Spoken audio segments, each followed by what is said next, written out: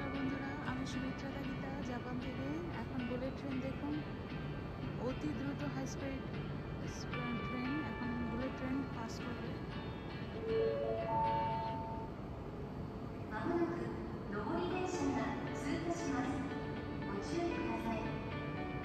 আপনারা অপেক্ষা করুন দেখতে থাকুন